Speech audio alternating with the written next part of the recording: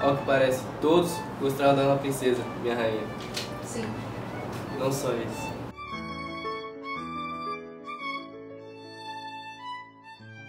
Alteza, quero ter meus filhos em solo brasileiro. Seus filhos são brasileiros. Aqui é uma terra de esperança. Não temos que jogar tudo que conquistamos fora. Vocês não sabem o quanto o apoio de vocês me motiva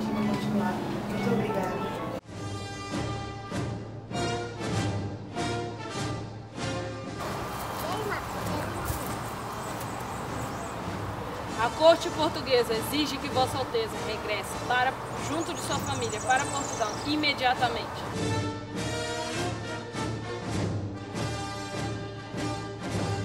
Digo-vos em resposta que nem eu e nem meu marido iremos. Creio que aqui estaremos seguros.